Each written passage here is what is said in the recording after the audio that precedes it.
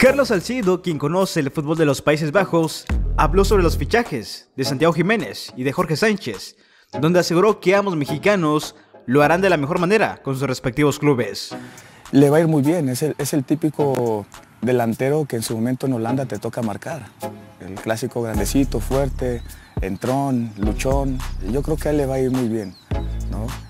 Él, yo creo que le va a ir excelente. Ahora que veo que se va eh, el, lateral, que, es Sánchez, que se va al, Ajax, yo creo que él va a mejorar muchísimo más. Yo creo que él va a mejorar mucho su fútbol. Es un gran, gran lateral pero tú sabes que nosotros en selección estamos sufriendo muchos de laterales, tanto derechos como izquierdos, y yo creo que él va a aprender bastante como lateral, y esa parte le va a venir bien a la selección. Lógico primero a él. Tras quedarse en la banca en la primera jornada en Portugal, Diego Lainez podría ver su debut más tarde con el Braga. El canterano del América llegó con altas expectativas. Sin embargo, en el arranque de la competencia, el mexicano se quedó en la banca y no vio actividad. Chicharito Hernández respondió a la FIFA tras ser candidateado para Qatar. El atacante del Galaxy simplemente respondió con una imagen de un emoji al polémico tweet. Fernando Ortiz responde si llegarán más refuerzos al América, tras los rumores que vinculan a Brian Rodríguez, de Los Ángeles. Si no viene nadie estoy conforme, lo he dicho, pero no descarto que pueda venir un lateral más. Brian es un hombre, no lo voy a negar. Hay otros nombres también. Dar nombres quizás a veces complique las negociaciones, pero si se llega a sumar algún nombre, Ojalá sea pronto, para que se pueda insertar pronto, porque ya estamos a mitad de la temporada y es difícil que un jugador se pueda adaptar rápido, comentó el director técnico.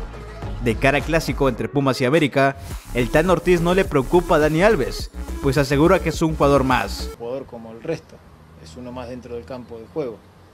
La historia quizás habla por sí solo por el jugador, pero son seres humanos dentro del campo de juego, lo cual somos nosotros también igual, así que el que mejor esté y entienda el juego se va a llevar la victoria.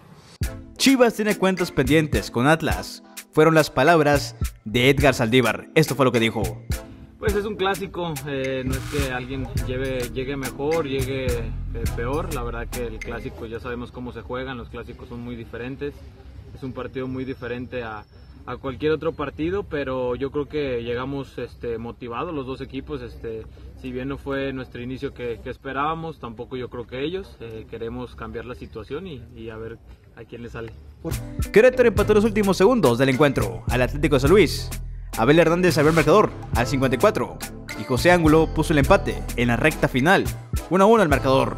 El nene Beltrán contó cómo fue su experiencia en el Juego de las Estrellas. El jugador de Chivas reveló el momento de entonar el himno nacional, pues solo él de mexicano estaba en el 11 de la Liga MX, rodeado de puros extranjeros.